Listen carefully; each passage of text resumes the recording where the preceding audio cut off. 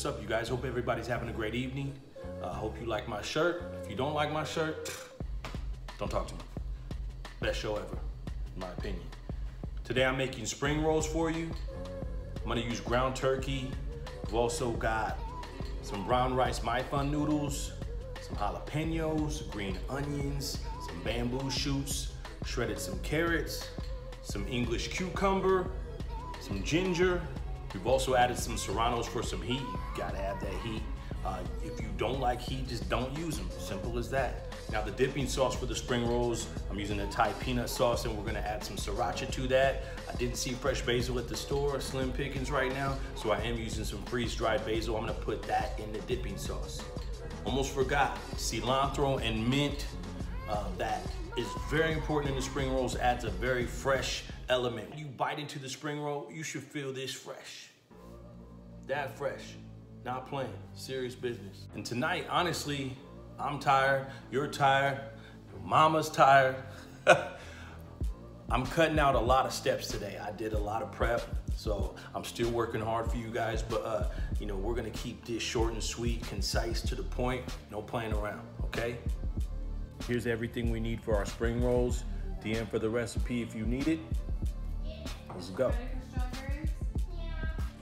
Here's the ingredients for our dipping sauce. I'm actually gonna put the ginger in the spring rolls. I'm gonna chop it up pretty finely. Then uh, our bamboo shoots definitely has moisture in the can.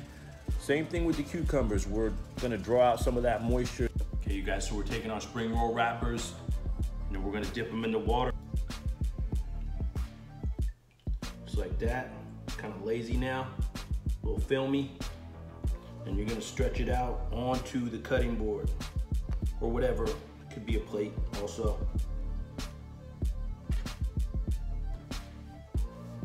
And just stretch it out so we could fill it with that goodness.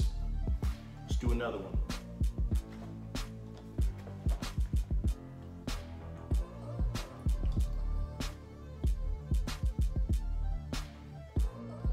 Okay, here's everything we need to stuff those spring rolls.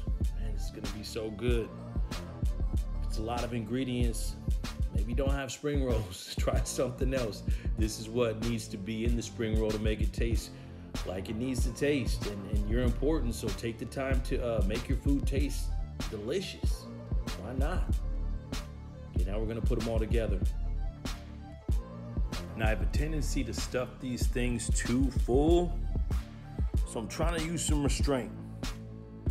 If you stuff them too full, you're probably not gonna be able to roll them up I do this with egg rolls too. I need to just put a little bit less. Basically what I'm saying, the more you do these kinds of preps, the better you're gonna get. If you're terrible at it the first time, don't give up. Just keep practicing this stuff. Like no one is a great cook right away. I'm not saying I'm a great cook, but I'm trying new things. I'm getting better at the preparation. I'm getting better at cooking something for the first time and having it be wonderful. But I'm taking my time, I'm following instructions, and I'm not beating myself up if I make mistakes because we're all gonna make mistakes. I mean, same thing with working out, you're gonna make mistakes.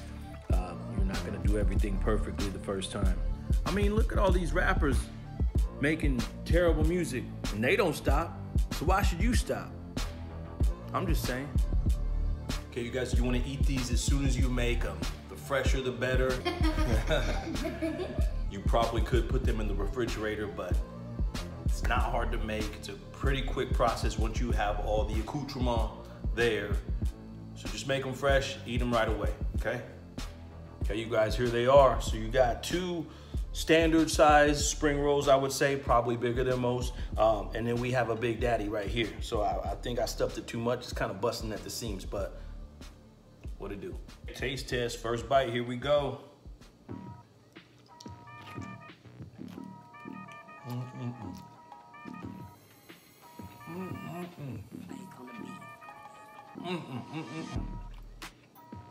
I haven't made these in a while and I'm starting to question my judgment because these are always good. Mm -mm -mm. So you have just an abundance of freshness from the mint, the cilantro. You have the crunch from the English cucumber. I feel like the English cucumber is a little bit crunchier. Uh, you get the carrots, add a little bit of crunch. The brown rice noodles add a, a softer texture to the dipping sauce. You get the, the peanut element, absolutely. Also the heat from the serranos and the sriracha. So we are winning right here. Mm, mm, mm.